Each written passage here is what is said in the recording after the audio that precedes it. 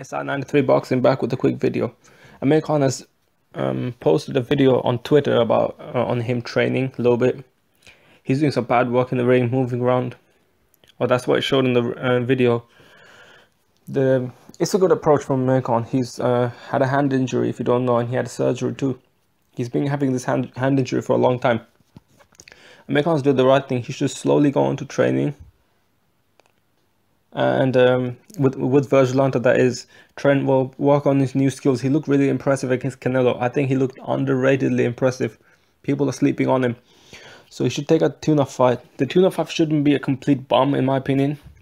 Could be like a Soto Karass. I mean, Soto Karass is a journeyman, but he's a good one, dangerous one.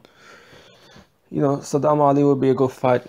I mean, look, Sadam Ali would take on that fight, right? It's a good opportunity for him. Um, yeah, there's a, there's a few good fights out there, and he should fight Danny Garcia. None of that waiting around for Floyd. He's still think um he's still talking about Conor McGregor, which I hope that dies out because Conor's yet to achieve a lot more in boxing. I feel like he can achieve more in um, boxing. I do highly rate Amir Khan. I think he's a bit underrated by a lot of the fans. Amir Khan can actually beat like the best of Amir Khan beats the best of anyone else at 147, not named Floyd Mayweather Jr. Amir took a lot of chances in his boxing career. Fought Maidana for Lamont Peterson in his own hometown. He took a lot of chances, man. He took Canelo fight. He kind of inspired Brook to go up and fight Golovkin.